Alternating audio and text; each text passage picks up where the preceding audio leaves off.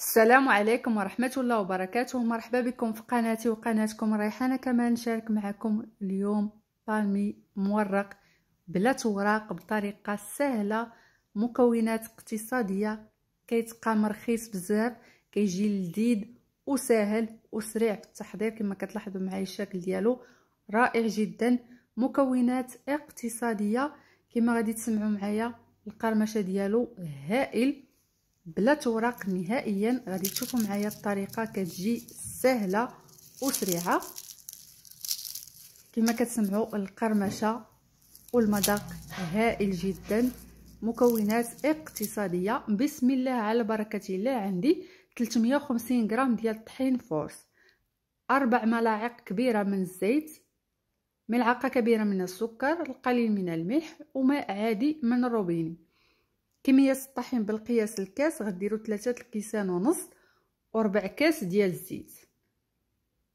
أربع ملاعق كبيرة مملوءة من الزيت اللي استعملت أنا ملعقة كبيرة من السكر والقليل من الملح وماء عادي من الروبيني. العجينة ضروري ما يكون القوام ديالها متماسك تكون قاصحة ماشي طرية حيت غادي نخليها ترتاح غادي تزيد كترخف كنضيف الماء شوية بشوية. غادي تقولوا لي شحال خدات يعني بقياس الكاس؟ تقريبا آه، كاس وربع في حدود.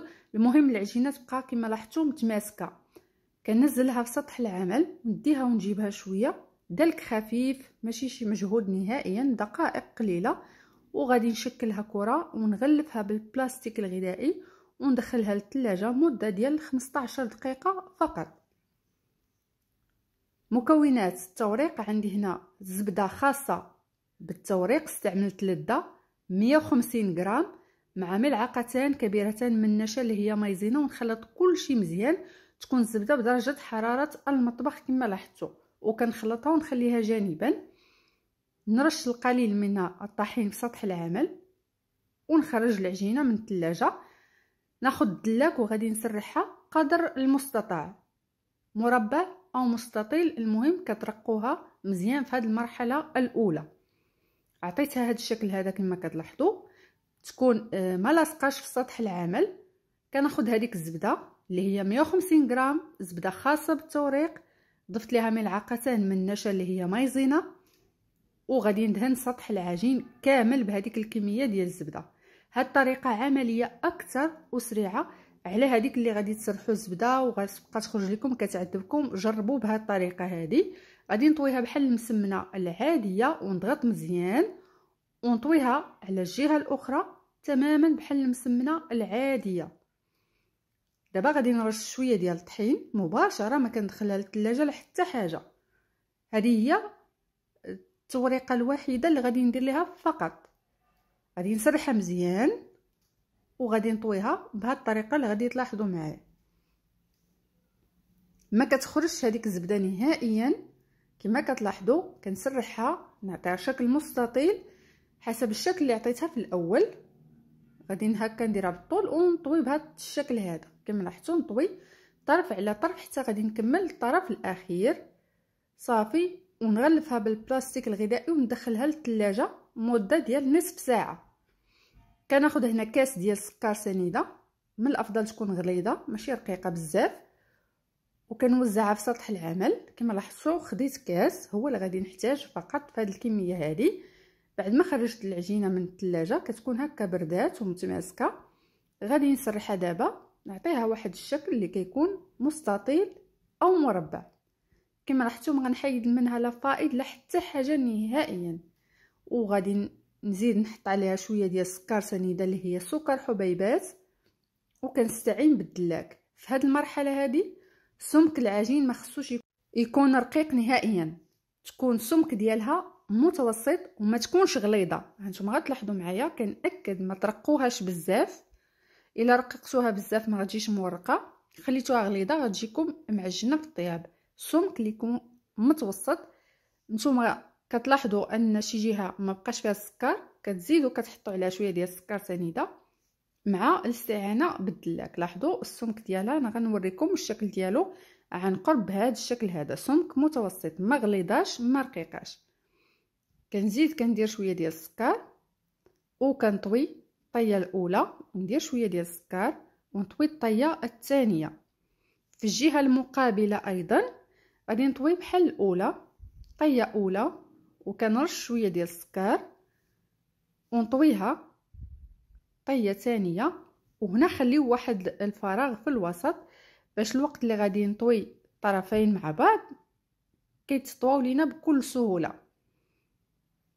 غادي نقلب بهذا الشكل هذا باش كتجينا مقادة. صافي أنا حصلت على الشريط كيكون هكا مقاد. كتاخذوا سكين اللي كيكون حاد ولا أي آه، أداة باش غادي تقطعوا غادي نقسمها من النصف باش نوريكم كتعبروا اصبع واحد وتقطعوا ما خصهاش تجي آه، رقيقة تاني بزاف وما تعرضوهاش بزاف. عبروا اصبع واحد. أنا درت لكم باش تبان لكم الطريقة. اصبع واحد وكتقطعوا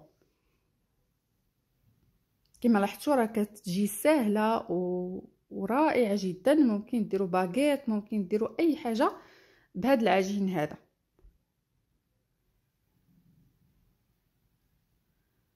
صافي. ومباشرة غادي ناخذ طاوه اللي فيها ورق السولفيغيزي ونحطهم بشكل اللي كيكون متباعد ما يكونوش متقاربين نهائيا. بالنسبة للفران في هذه الأثناء كنشعلو خصو يسخن مزيان سخنوه واحد العشرة دقائق قبل يكون آه، في الأول على أعلى درجة قبل ما ندخلوهم. كنأكد بعدو بيناتهم خليو واحد الفراغ والفران يكون سخون مزيان في المرحلة الأولى. بمجرد ما غادي ندخلهم غادي نقص شوية النار نخلي نار متوسطة حتى كيبانوا لي خداو الشكل ديالهم. وكنقص النار نديرها نار مهيلة ونخليها طيب على خاطرها. وكتحمر باش كيجيو شكل واحد ويجيو طيبين من الداخل. ومقرمشين حتى من الداخل كذلك ماشي غير مقرمشين من برا. وخضرين من الداخل.